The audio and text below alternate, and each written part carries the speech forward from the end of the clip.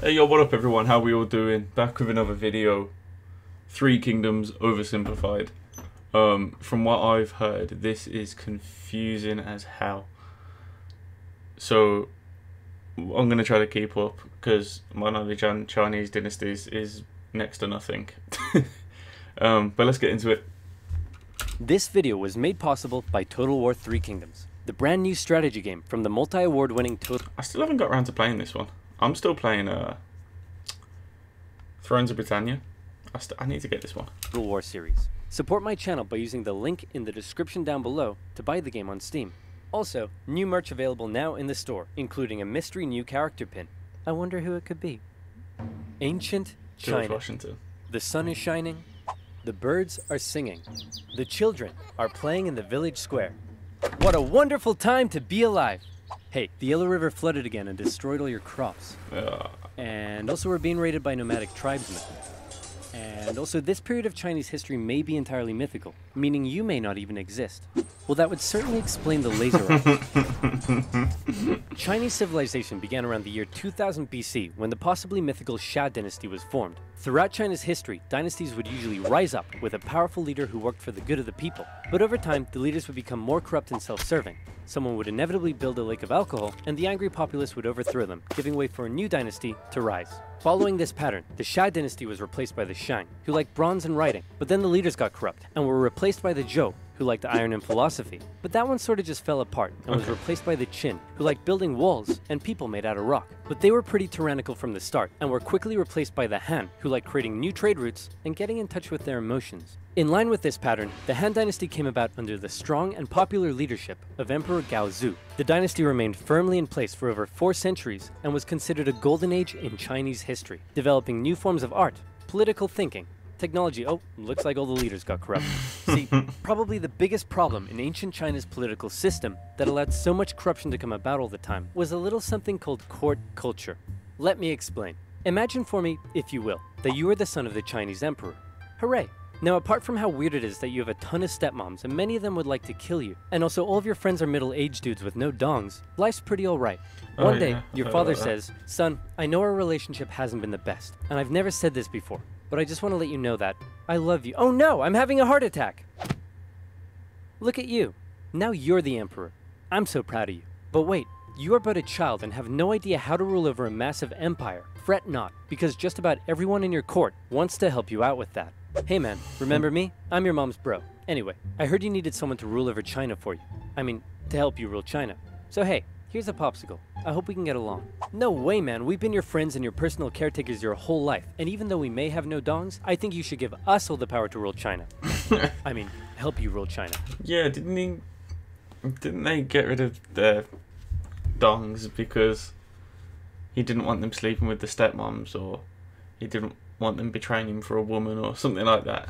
I mean, it's pretty extreme, but I guess they they cottoned onto that part of human biology pretty early on. So who will you be influenced by? Your scheming uncle or your loyal eunuchs? And towards the end of the Han dynasty, a string of child Eunuch- emperors allo- eunuchs, that's it. allowed more and more power to fall into the hands of the eunuchs. Oh no, now they're scheming too. They began handing out government jobs for bribes, heavily taxing the poor for their own wealth. And while you're sitting there eating your popsicle, everyone in your court is literally murdering each other to try and consolidate more power and riches for themselves. While all the peasants are outside like, hey, did you guys know there's been a drought out here for two years?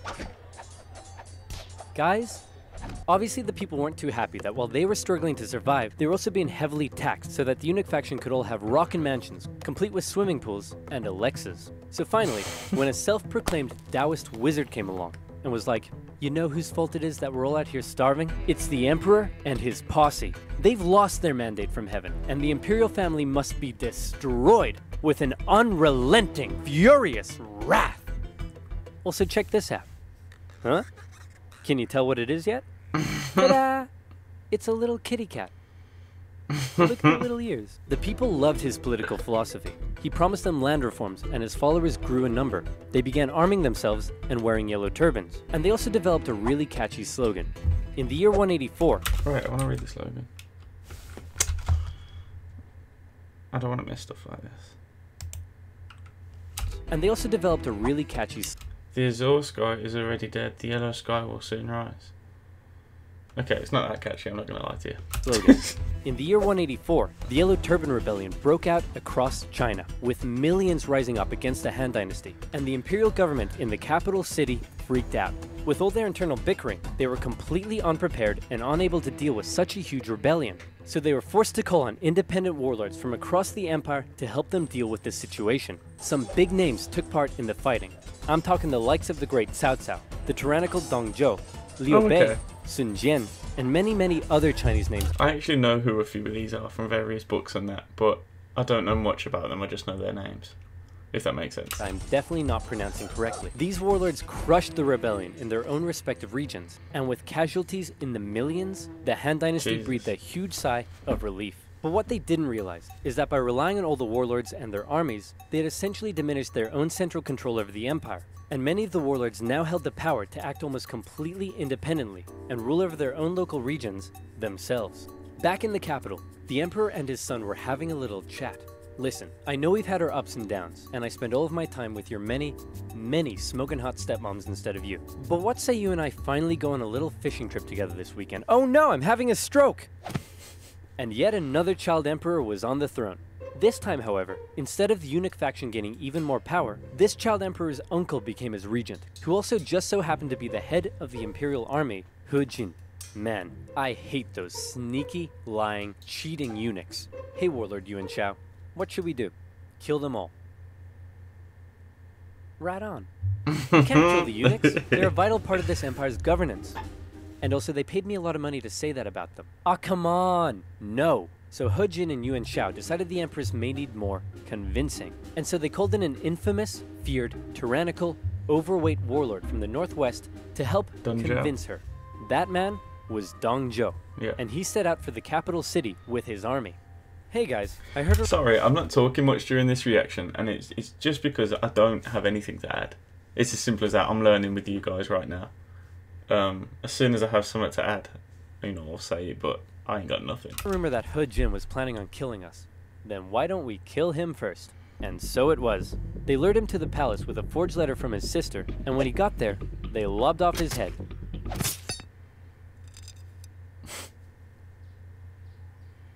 Kill them all. Imperial forces stormed the palace, and the eunuchs were all massacred. The peasants, who were still suffering from drought and starvation, saw what was going on and began to riot. The emperor and his brother were forced to flee the city, which was now in flames, and the feared, nasty, tyrannical, bloated Dong Zhuo had just arrived. He found the emperor and his brother wandering the hills outside of the city and was understandably confused. So he scooped up the emperor, went to the capital, and was like, Hey guys, what's up? See again. What are the chances of him just bumping into the emperor and his son on the way out? This is exactly like the French Revolution bit. And someone informed me that the guy in the French Revolution video, if you didn't watch it yesterday, he only recognised the king off his face was on one of the coins, and that's how he recognised him.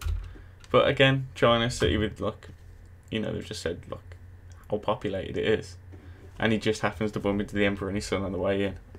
was understandably confused. So he scooped up the emperor, went to the capital, and was like, Hey guys, what's up? I see the capital is on fire. Also, I'm here with my army, and I have the emperor with me. Wait a minute. The capital is on fire. I'm here with my army, and I have the emperor. Screw you guys. I'm in charge. so now Dong Zhuo ruled over the Han Dynasty as the emperor's regent. His first act was to say to the emperor, Hey man, no hard feelings, but I like your little brother better, so I'm actually making him emperor instead of you, so you're free to go do whatever you want. Actually,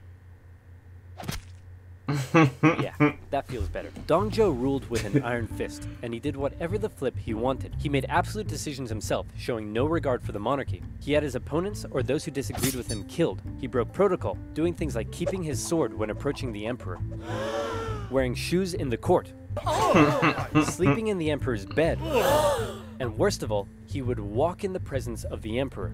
You were meant to trot. The other warlords around the empire hated him, and so they said, Something needs to be done about this guy. What say we form a coalition and oust him? And it was agreed. Warlords from across China, their armies amounting to 100,000 men, allied together against the tyranny of Dong Zhuo. Yuan Shao's coalition consisted of some of the nation's most capable leaders, including his half-brother Yuan Shu, the great Cao Cao, and Sun Jian. But Dong Zhuo had an ace up his sleeve, his protege and adopted son, one of the most skilled and feared warriors in all of China. It's Lu Bu. This guy was a beast. I only know Lu Bu from the uh, Three Kingdoms uh, released a beta version, and you could pick one of the leaders, and I picked Lu Bu. That's the only the only time I've heard him, and the dude's badass, man. Skilled and feared warriors in all of China. It's Lu Bu. This guy was a beast of a man. He never lost a duel, and no other warlord dared challenge him to one. He was also famous for betraying just about every warlord he ever fought for, something that Dong Zhuo didn't seem too concerned about. The coalition attacked Dong Zhuo in Luoyang, and in particular, Sun Jian's forces inflicted a heavy defeat against him, and he was forced to flee to the city of Chang'an. After this initial success, however, the war entered into a stalemate. The warlords in the coalition realized it was going nowhere, and also they all secretly hated each other. So they all went home. Dong Zhuo was safe. Until. Legend has it that a government official in Chang'an had a daughter who was hot. Super hot. He invited No Lu Bu to his home and promised Lu Bu Why have I only just noticed no one's got a mouth? Why has it took me eight, ten videos and for oversimplified to name someone as hot for me to notice that none of them have mouths? Jesus Christ. that someday he could marry his daughter. Oh, Then, he invited Dong Zhuo to his house and did the exact same thing. Dong Zhuo was so smitten that he insisted on taking her as his concubine immediately. And when Lu Bu heard the news, he was pretty unhappy. Hey man, aren't you worried that you stole Lu Bu's girl and betrayal is like his personal hobby? Lu Bu? Betray me? No way, man. Never gonna happen. Oh, crap. Lu Bu, along with other government officials, assassinated the tyrannical Dong Zhuo. Then they left his body burning in the streets. Some sources say he was so fat and oily, he kept on burning for days. nice. So with Dong Zhuo dead, and the power of the Han government oh, essentially shit. decimated, China was left with a huge power gap, and a ton of warlords who all slept soundly at night dreaming of being the one to fill it. Here we enter into a crazy and chaotic period of civil war all across China, with so many people, so much crazy and chaotic period of China's just been at war for the whole of its existence, hasn't it? I knew there was loads of dynasties, but man, that you know what? When you're a country that big, you haven't really got to worry about outside forces, except for the Huns, obviously. Civil war all across China, with so many people, so much betrayal, so much intricacy, it makes Game of Thrones look like a Dr. Seuss publication. But just to give you an idea of how crazy and chaotic it was, see if you're able to keep up with this. Are you ready? Here we Go. Here's a rough map of the warlords throughout the Han Dynasty at the time. Half brothers Yuan Shao and Yuan Shu were both in a power struggle for who would become the figurehead of their family. Yuan Shu made alliances with warlords in the north, along with Sun Jian, the guy who defeated Dong Zhuo. Yuan Shao also made alliances with Liu Biao in the south and Cao Cao, who was an amazing strategist and general. All of these warlords began fighting each other. Cao Cao began building his own strength by subjugating nearby remnants of the Yellow Turban Rebellion into his own forces.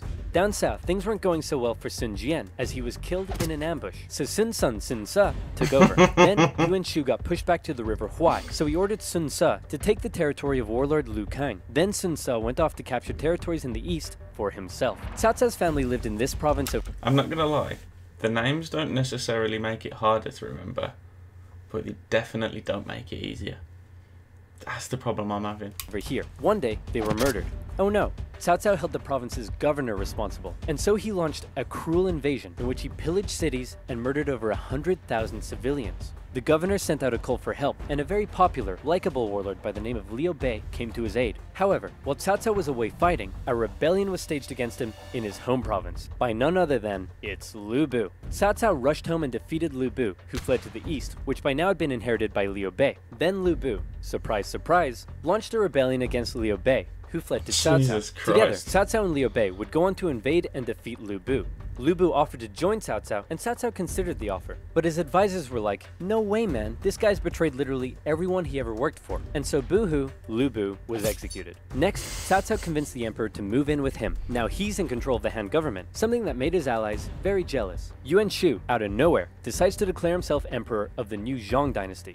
Nobody liked that. His allies cut ties with him. The imperial government ordered everyone to kill him. He tried to flee to his brother Yuan Shao, but died of illness on the way. Sun Ce took over his territory and then got assassinated. So his brother, Sun Quan, took over. Liu Bei turned on Cao Cao, but got obliterated and was forced to flee south. Yuan Shao finally defeated the warlord to his north and could now focus south, He declared war on his ally Cao Cao, but was defeated at the Battle of Guandu. Cao Cao has now united the north, and he turned his attention to the south. In particular, Liu Biao's province was becoming a powerful threat, so Cao Cao attacked him. Liu Bei was now fighting for Liu Biao, and he held Cao Cao off for a while. But then Liu Biao died and his son took over, and immediately surrendered to Cao Cao. Liu Bei was horrified, and he fled southward to try and maintain control of the province. Cao Cao was on an absolute roll, and it looked like he would be the one to take control of China. He began making plans to attack both Liu Bei and Sun Quan, and the two of them Where are all the soldiers coming from? Like, have they not murdered everyone? Like, you keep saying, oh, a million people killed here, 100,000 killed here. And you gotta remember, this is 2,000 years ago, so the population isn't what it was today. Isn't what it is today. China just always had people in it. By the way, I'm watching this for pure entertainment purposes right now. Like, the my capacity for learning left about five minutes in. I'm just I'm just enjoying this as like a, comic book type animation. take control of China. He began making plans to attack both Liu Bei and Sun Quan, and the two of them, seeing where things were headed, met up and decided to form an alliance. Now I know that was a lot to take in, but all you really need to know at this point is that this guy is on his way to taking over everything and he's about to throw his full weight at the southern warlords. These two have one chance, one battle, to prevent him from invading the south. And that battle was the famous Battle of Red Cliffs. To take the south, Cao Cao would need to control and cross the mighty Yangtze River. He had over 200,000 men to face against Liu Bei and Sun Quan's combined force of 50,000. How would they stand a chance when they were so outnumbered? Legend says most of Sun Quan's advisors pleaded with him to surrender, but then he smashed up a table and they all backed down. Luckily, Cao Cao's forces were ravaged by disease and exhaustion, and his northern soldiers weren't too comfortable on ships. So when Cao Cao sailed down the river and the two sides met for an initial skirmish at Wulin, Cao Cao was unable to inflict a defeat against the allies. Then, one of Sun Quan's men came up with a very sneaky plan. He sent Cao Cao a letter, pretending that he and others wanted to defect to hey mate, we're joining your side. his side, and offered to bring him some of Liu Bei and Sun Quan's finest ships. Little did Cao Cao know, however, that those ships were full of flammable reeds. As they approached his fleet, they were set alight and destroyed his ships and camp. Seeing the situation as hopeless, Cao Cao ordered a difficult retreat through the rain and marshlands, during which more of his men fell to illness and disease. The underdogs had won, and Cao would never again have another chance to take the south. Following that, the three warlords took some time to finish off some smaller competitors in their own regions, and by the year 214, China looked a little bit like this.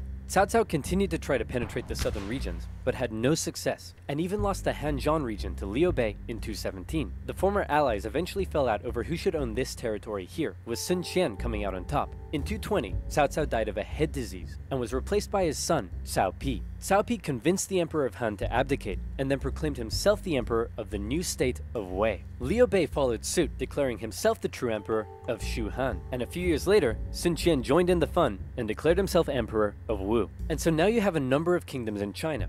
How many? Count Thr- them. Three. One, two, three. Three kingdoms. Except, actually, they weren't kingdoms, they were dynasties. And when the three kingdoms finally formed, not a whole lot happened. For the next three decades, they continued to engage in combat, but it almost always ended in stalemate, and nobody really got anywhere.